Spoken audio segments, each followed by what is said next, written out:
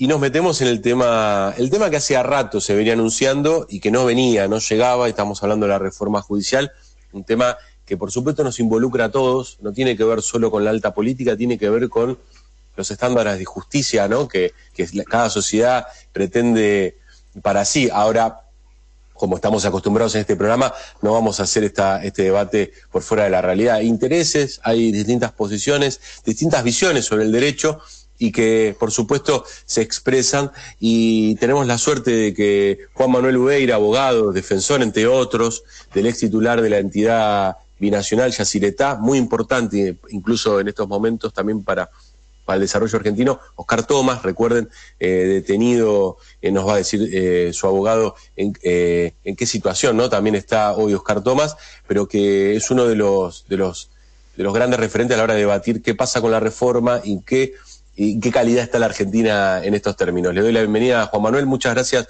por atendernos. Julián Saúd y Carlos Maquevicius de Revista Martia, ¿cómo te va? ¿Cómo están ustedes? Este, muchas gracias por la por la posibilidad de participar en el programa. Muchas gracias. Estamos todos. aclarar algo, Juan Manuel. Oscar Tomás está, está, está en su casa, ¿no? Eh, Sí, sí, está, está encarcelado, está en su domicilio, está en, Posadas. Este, así que, bueno, nada, sí, dispone de la libertad carcelada de, en la causa. Este, está bien, había durante el tiempo de detención se había deteriorado físicamente mucho, había bajado como 20 kilos, y ahora casualmente que estoy hablando con ustedes, porque todo tiene que ver con todo, me voy a meter en un Zoom a las diez y media en el juicio de Zaciretá, el del Monumento a la Corrupción, que tiene 25 años de trámite. Y es llamativo porque estas son las grandes paradojas de Argentina, ¿no? Este, en ese juicio, el de Cefiretá, donde, este, entre otras empresas, la del expresidente y su padre, durante la época de la dictadura, engordaron salvajemente este, en uno de los actos de corrupción más grandes de la República Argentina, hace que uno haya sido electo presidente y aquel que la puso en valor, que la terminó, que construyó las costaneras de este, Paraguay y de Argentina, que reubicó más de 80.000 familias, que hizo absolutamente todo, está procesado y, tiene una prisión preventiva. Este es la Argentina. Juan Manuel, contanos eh, brevemente, si puedes, porque no era el tema de la entrevista, pero ya que lo, lo tiraste arriba de la mesa, ¿cómo se beneficia la familia Macri de Yacyretá? Bueno, en la época, este, digamos, de Yacyretá brevemente, porque es, verdad, no es el motivo de la entrevista, pero brevemente Perón este, cuando vuelve en su última venida a la Argentina, termina de acordar algo que ya se inició en el 55, que es el pacto con Stroessner.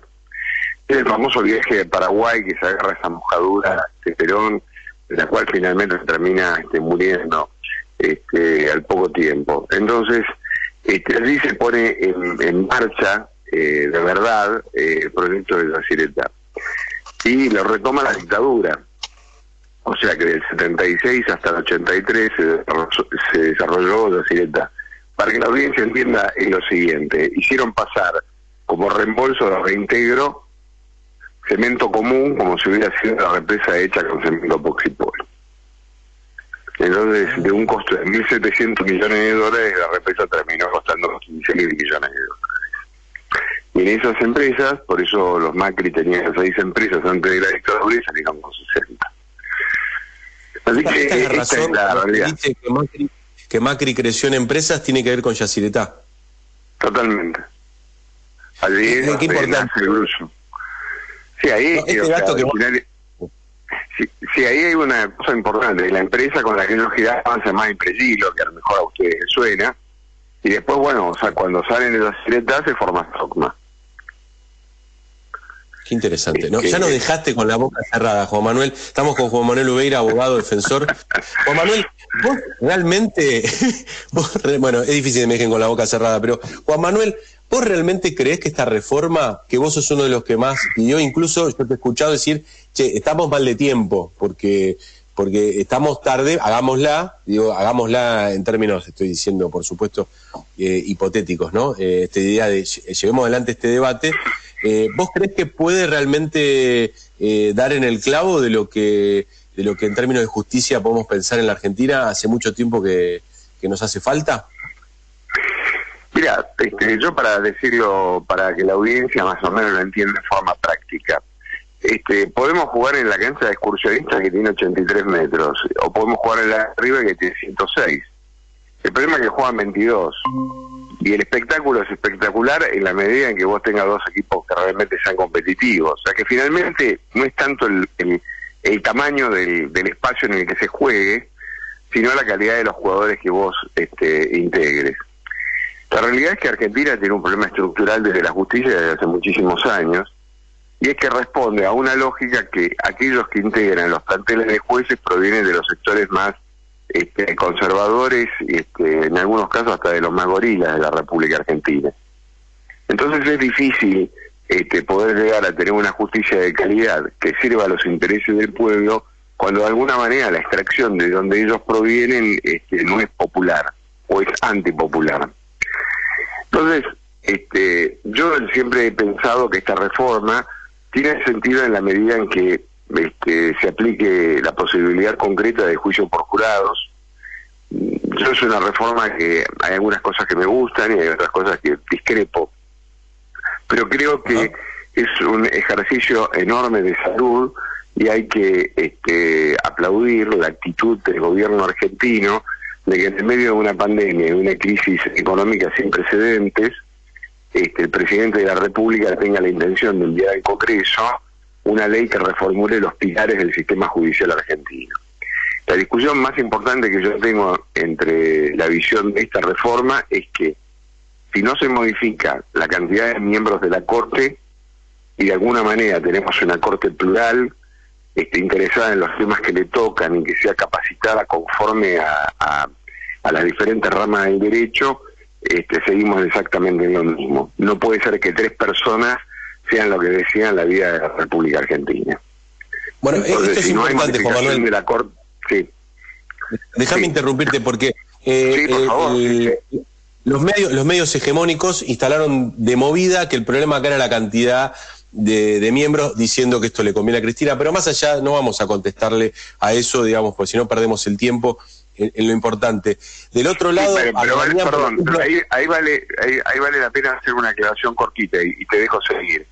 Es que con los mismos argumentos que ellos dicen que la modificación le favorece a Cristina, yo le digo a la audiencia que si mantenemos la posición conservadora, entonces lo que estamos haciendo es proteger a Macri. Claro. Claro. Es muy interesante. Bueno, pero eh, al mismo tiempo Arlanian dijo eso no es lo más importante con respecto a, la ampliación de la Corte Suprema, si se diera o no. Explícanos por qué es tan importante que haya más jueces de la Corte Suprema, más allá de que tres puedan decidir, eh, porque en definitiva eh, esas mayorías se podría componer de, otra manera. Digo, ¿hay algún aspecto concreto que podamos, además de, cómo se construyen las mayorías, ver ese beneficio? Sí, o sea, en principio lo que, lo que es importante señalarle a todos es que el derecho cubre todos los aspectos de la vida humana. O sea, el, derecho te protege desde antes de nacer hasta después de tu muerte. Este, entonces, la infinidad de, variantes que tiene, las ramificaciones que tiene la vida humana en cuanto a su desarrollo y capacidad, la atrapa el derecho. Es prácticamente imposible que una sola persona tenga en su cabeza todas las variantes y especialidades del derecho. La realidad es que cinco personas no pueden atrapar toda esa realidad. ¿Y qué es lo que está pasando hoy? Lo que está pasando hoy es que la resolución de los conflictos en la, en la Argentina no la hacen los ministros de la Corte, sino sus secretarios letrados. Nosotros lo que proponemos, entre yo varios, otros como por ejemplo Zaffaroni, tienen la misma idea que yo, pero desde hace mucho tiempo, que una corte de 15 miembros dividido por salas, por áreas de especialidad, sería una variante. Lo que no puede pasar es que la Corte tuvo nueve miembros en una época determinada, después lo bajaron a siete y ahora lo bajaron a cinco. Esos cinco hay dos que entraron por la ventana. Hay un tercero, que es el caso de Lorenzetti, que no sabía que este, la causa de la embajada, él dijo que era cosa juzgada y todavía la tiene en trámite. O sea que uno hasta se pregunta seriamente cuál es la idoneidad de ese señor para ser integrante de la Corte Suprema. Y los otros dos son una señora que este, ya evadió hace mucho tiempo este, el límite máximo de la edad para permanecer en la Corte, y el último sería Maqueda, que no sabemos nada de él. Pero la realidad es que este, hoy por hoy este, es insatisfactorio, sobre todo fue, fue, cuál fue el comportamiento de la Corte en estos cuatro años de brutales desmanes dentro del sistema judicial. ¿Y qué no quisieron 29.000 eh, perdóname, 29.000 eh, causas o resultados de dictámenes de la Corte Suprema salieron a decir en el último año, como que están trabajando más? Tema es que hay una discusión mucho más de fondo, este, que sería más larga dar, pero es que en Estados Unidos la Corte resuelve 100 casos por año. Este, ¿Por qué? Porque ellos tienen un sistema de selección de casos que tiene que ver con la constitucionalidad. Aquí la Corte este, tiene una vieja estructura de jurisprudencia que se llama sentencia arbitraria, donde vendría a ser prácticamente casi una tercera instancia. Lo cual, esto habría que reformularlo. Para mí, este, es una de las bases de la discusión. Pero la realidad es que hoy cinco miembros se han demostrado insuficientes, no solamente para la acción técnica, sino para la acción política. Porque la Corte ha permitido durante estos cinco años que se hayan producido los desmanes que se han producido en federal, sin que de alguna manera ellos hayan intervenido. O sea, la persistencia de un bonadío durante estos cuatro años es inconcebible en cualquier sistema judicial de cualquier país este, normal. Entonces, desde ese punto de vista, y ahora volviendo al tema de la reforma, no existe la posibilidad de que avance ninguna ley que sea plural, democrática, que tenga una visión, digamos, de amplitud, teniendo unos ministros que finalmente hacen la vista gorda frente a determinados problemas. Por paso la ley de medios. Doctor, le hago una consulta. ¿Qué diferencia hay eh, o qué diferencia ve usted y qué opinión tiene con respecto al intento de reforma anterior que hubo en el final del periodo del último gobierno de Cristina Fernández, que finalmente terminó en nada, digamos. Yo creo que... Este, ¿Hay diferencias? para mí sí hay diferencias.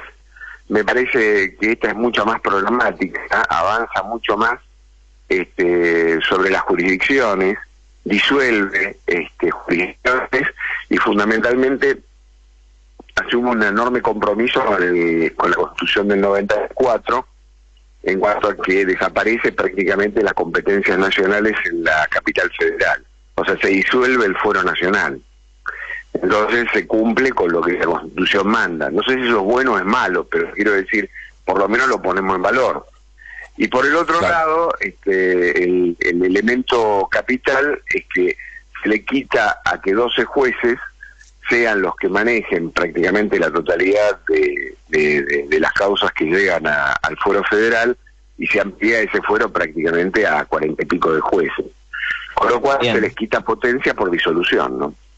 Doctor, eh, ya que nos metimos en la cuestión de la justicia federal, ¿qué opina eh, con respecto a la pregunta sería, si leemos esta iniciativa en clave de la guerra, por llamar por ahí, no con la metáfora más feliz, entre la política y la justicia en tanto corporaciones, ¿no? Vamos a decir estas tensiones que seguramente son históricas, que probablemente hayan tenido un pico alto durante la década del 90, probablemente con la, con digamos la, forma actual de la justicia federal. Eh, ¿Puede leerse en esta perspectiva?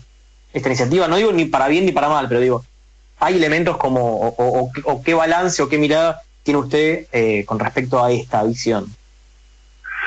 Sí, este, yo creo que hay un, hay un hito. Este, podemos buscar mucho, si seguramente si estuviéramos en una conversación de café con otros abogados que tengan los años que tengo yo, este, cada cual este, colocaría este, el agua en algún lugar. Pero digamos hay una digamos hay un común denominador o por lo menos una sensación de opiniones que a partir del 90 con la aparición de Menem y los jueces de la servilleta ahí digamos de alguna forma el foro federal se termina de pudrir, ¿no? Entonces ahí aparece este, la utilización del juez como un ariete o como un aliado para resolver determinado tipo de problemas que la política no resuelve.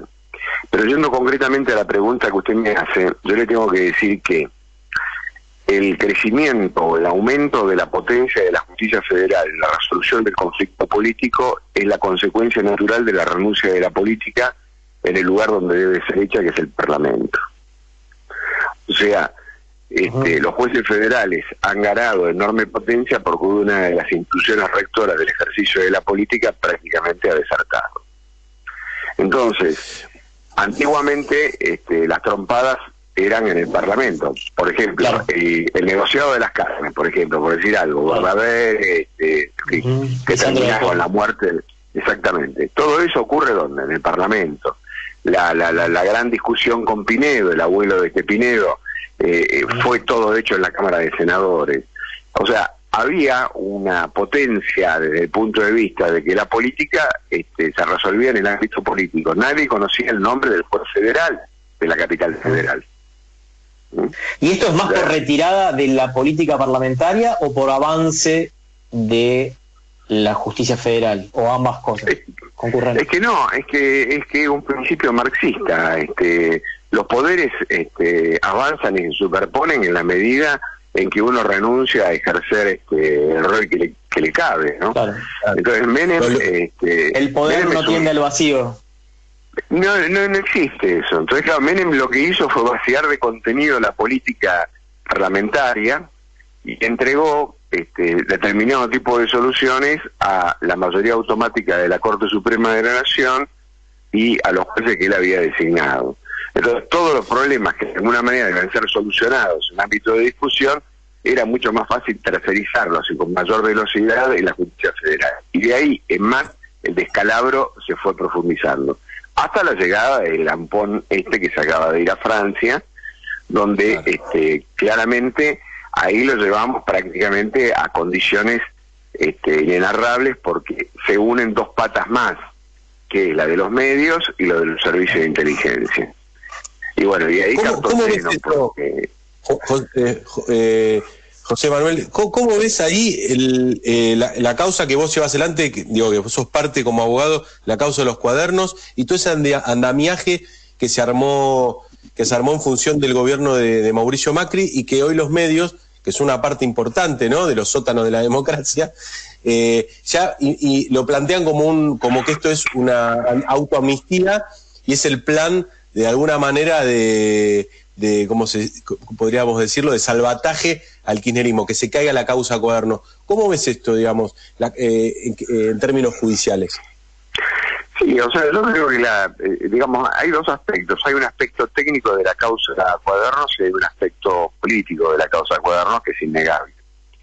El aspecto técnico es claro, o sea, digamos, la, forma en que llega Centeno, los cuadernos que se destruyen, que después atómicamente se vuelven a reconstituir, este, siempre con el mismo periodista, primero que lo trae la noticia y dice los cuadernos están destruidos, es el mismo periodista que después en una esquina supuestamente le dan los cuadernos que ahora son los que están incorporados. En fin, este, desde el punto de vista técnico empezamos mal, después tenemos el problema del sorteo del juez, que en última instancia no hubo sorteo, este, o sea que se violó la regla del juez natural. Esto para cualquier este abogado eh, recién salido de la Facultad de Derecho es casi de manual decir que el formato de arranque y de inicio de la causa no es ni más ni menos que una aberración. Después, bueno, se van sumando cosas, o sea, los arrepentidos que no son tales, sino que van a la fiscalía para ver de alguna manera cómo no nos meten en cana, la utilización de la prisión preventiva como un elemento para obtener confesiones, el intento de Stornelli de hacerme una cámara oculta porque el mío no se arrepentía, este, eso es uno de los bochornos más grandes y uno de los problemas más graves que ha habido institucionales dentro de la justicia, que es que un fiscal intente hacer una cámara oculta al defensor este, de uno de los procesados en una causa donde él obra como acusador y que esto de alguna manera no conmueva este, a la sociedad y que todavía el Procurador General de la Nación lo siga manteniendo en el cargo y así podría este, ir de un lado para el otro recitando y recitando. En realidad, ¿Cuál es la matriz de todo el problema? La sustancia es que la obra pública en la República Argentina siempre tuvo una matriz determinada, como acabo de contar con el tema de la Cireta. Si querés resolverlo, lo tenés que resolver de la política. Ya lo que tenés que decir es, bueno, vamos a hacer transparencia o que determinado tipo de obra pública se licite de una manera pública, por decirlo de alguna forma. Esa es la forma de resolverlo. Ahora, si la llevas a la justicia y el afán es destruir la obra pública nacional, me dio la impresión de lo que intentaba Macri era acabar con determinadas empresas públicas de la República Argentina, de obra pública de la República Argentina, para sustituirlas por otras que venían desde el extranjero. Entonces, Ahora, esto es lo que en matriz es la causa cuadernos. Ahora le toca a un juez o a tres jueces resolver este lío. Y este lío es muy difícil de poder resolverlo, desde el punto de vista de una cuestión pura y exclusivamente jurídica, no sé si es claro. No, no, es que tengo dos preguntas y sabemos que tenés que ir a este juicio y te, nos quedan tres minutos. Pero hay dos preguntas que no queremos dejar de decir o hacerte. ¿Qué sostiene eh, a Stornelli en el cargo? ¿Qué, lo está, vos aparte lo conocías muy bien y vos acabas de relatar algo que, la audiencia conoce. ¿Qué hace que Stornelli siga en su lugar con tantas pruebas en su contra? Bueno, ahí hay una doble, por lo menos mi interpretación, hay una doble matriz. La Embajada de Estados Unidos, que banca Casal, y que este, ha metido la cuchara en todo este tema durante un rato largo. Ahora tengo otra causa, Mateo Corvo, es una causa muy importante donde la DEA dejó todos los dedos pegados dentro de un proceso judicial en la República Argentina. Yo creo que hay una matriz que tiene que ver con la embajada, ¿no? Y este y el respaldo a Casal. Y un sector de la oposición que está agarrado de la mano con ese tema. Y este y por esas razones que está donde está.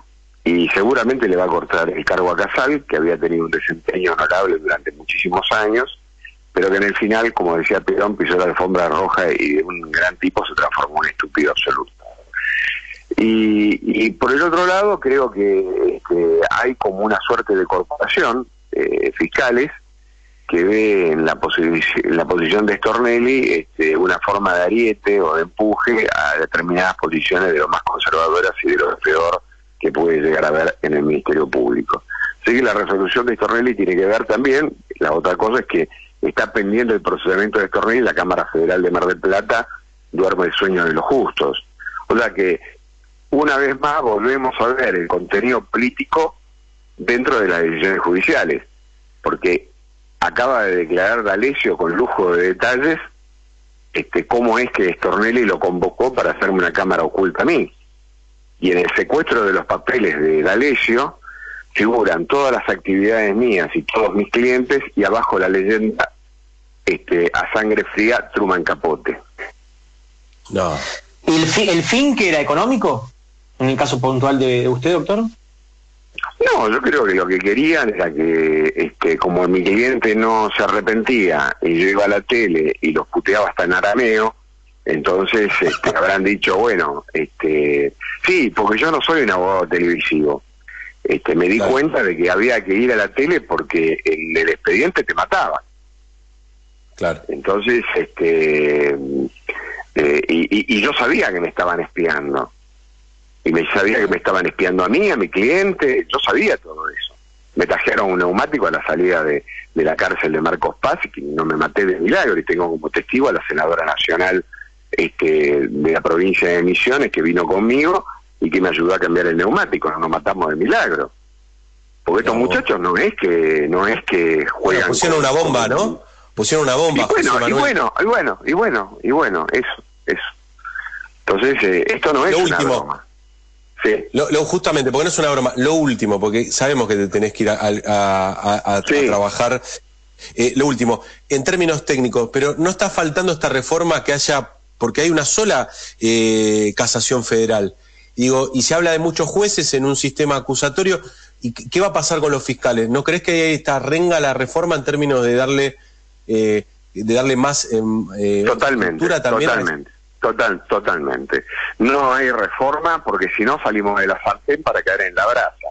O sea, le restamos poder a los jueces para darle al Ministerio Público, como si el Ministerio Público fuera Teresa de Calcuta. No, no, claro, si no, si yo coincido. O sea, la reforma tiene que ser no solamente judicial en, términos estrictos de, de jueces, sino que también tiene que haber una profunda reforma del Ministerio Público Fiscal. Este, yo soy un amante, lo digo para terminar, del juicio por jurados. O sea, si con los jueces federales no fue como no fue hasta ahora, problema con el pueblo. Es muy buena. Eh, José Manuel, muchas gracias, mucha suerte y un placer conversar siempre con vos. No, querido, un abrazo para todos ustedes, es muy amables. ¿eh? Un placer, era, era José Manuel Ubeira, la verdad que uno, sí, sí, escúchame, cuando volvamos a hacer asados, un asado hay, que, hay que invitarlo a José Manuel Ubeira para comérselo con él. La verdad que... ¿Cómo? Buen conversador. No, me parece una solvencia. Arrancó con una no noticia, ¿no? Porque tantas veces hablamos de cómo eh, el expresidente Mauricio Macri, hoy turista eterno por París y Suiza, eh, se enriqueció, ¿no? Y cómo su familia pasó de tener seis empresas a la, no sé, a la 64, no sé el número exacto, después de la dictadura, la respuesta es Yacyretá. Uh Se llamó el ampón. el Buen término, el ampón. Señor, nosotros nos vamos, porque como dijo eh, el, doctor, el abogado José Manuel Ubeira, el poder en el vacío, eso es una entelequia, eso no existe, ¿no? Eh, es puro marxismo. Nos vamos, nos vamos a la pausa porque tenemos que volver para llenar este espacio, por supuesto con nuestro micropoder, pero ojo que nuestro micropoder también molesta, ya venimos con más, no nos queda otro.